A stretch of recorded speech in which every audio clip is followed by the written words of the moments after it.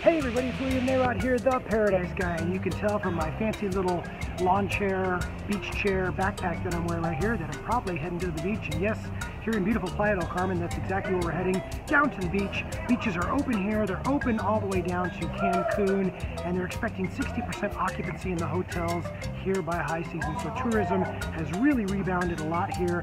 Got a lot of things to talk to you about, especially an upcoming webinar that you're not gonna wanna miss, so stay tuned.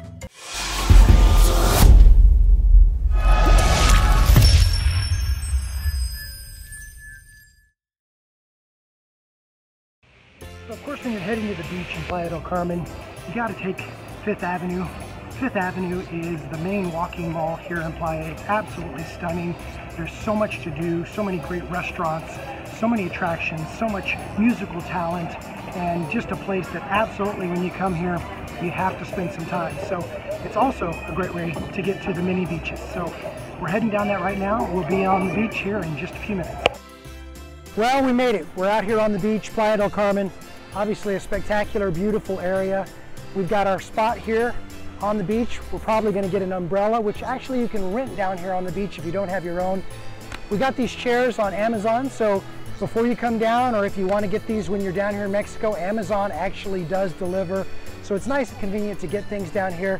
You can get these for a really great price, and are they comfortable? Absolutely. So let's talk about a few things. First of all, let's talk about beaches and tourism here in Playa del Carmen. Right now, uh, the beaches are wide open. Uh, you're able to come down here. Of course, they want you to practice social distancing. When you come onto the beach, they want you to wear a mask initially. Once you're settled in, you can take the mask off. Of course, if you're having any symptoms or you think you may have been exposed to COVID, just like anywhere else in the world, they're wanting you to stay separate.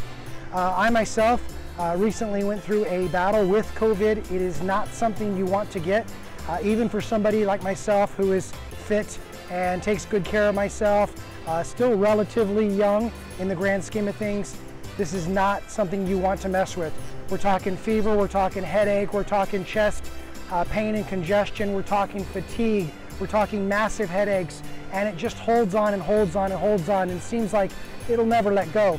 So definitely make sure you're doing what you can to avoid getting this. If you do get this, I'm gonna advise you to take very good care of yourself now before you get it because COVID's probably not gonna go away. It's gonna be around, it's gonna circulate. It's not if you're gonna get it, it's probably just when. Now I've seen people who have had it down here who have no symptoms. I've seen people down here who have very, very mild symptoms. I've seen people down here who got relatively sick. I would be in that category where I was relatively sick for a period of time. And then I've seen people, unfortunately, who have gotten it and not made it through the battle alive. So um, let's just play it safe. Let's do what we can to avoid getting it. But to prepare for getting it, make sure you're eating right, make sure you're getting plenty of sleep, make sure you're exercising, and make sure you're taking good care of yourself just in overall because it's going to prepare you much better to fight the battle when that actually does happen. So now that COVID's out of the way, let's talk about more happy stuff. Coming down here to Playa is very simple. You fly into the Cancun airport, which is wide open. You can get down here on a flight just about from anywhere right now. There is no mandatory quarantine. You fly in, you get off the plane, you catch a cab, or you get a van and you go to whatever destination up and down the Riviera Maya that you may want to go to. You can go to Bacalar, you can go to Chetumal, you can go to Tulum, you can go to Cozumel, you can go, just stay in Cancun. Wherever you want to go, there's Isla Mujeres. There's plenty to do down here, lots of places to go, all within a relatively compact area. If you'd like any hints or clues or tips on what to do when you're here in Mexico, please hit me up at info at paradiseguy.com. Oh, and by the way, yes, you can get some great music on the beach as well.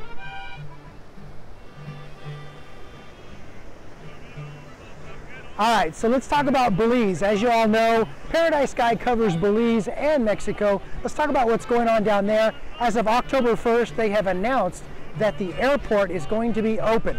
Now, they had asked uh, us to announce previously that it would be open August 15th.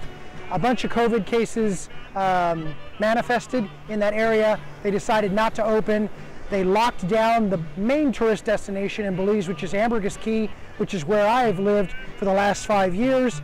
And they decided to postpone the opening of the airport. They've now said October 1st is the opening date. We'll see if that's going to happen. I hope it is. Uh, tourism is desperately needed in the country of Belize.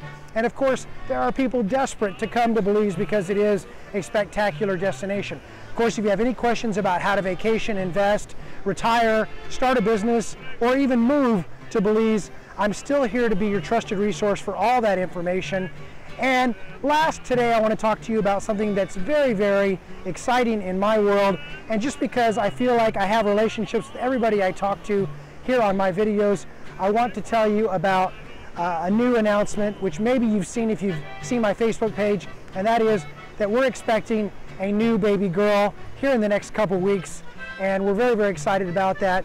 She will be born here in Mexico because we can't actually get back to Belize right now. All of the land borders are closed, and of course, the international airport is still closed. So she's going to be uh, born here in beautiful Mexico. We're excited about that. Um, I myself spent much of my life growing up in Mexico. I lived on the border of Mexico for about the first 20 years of my life.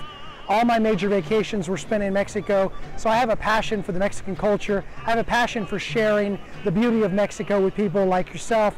So if you have any questions about Belize or Mexico, just know that Paradise Guy is there to answer all of those. You can always reach me at info at paradiseguy.com.